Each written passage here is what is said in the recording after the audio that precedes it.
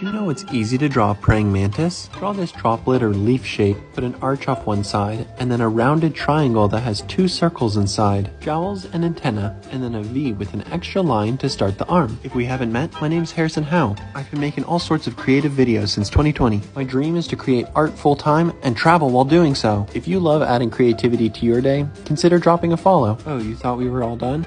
Well, now we are.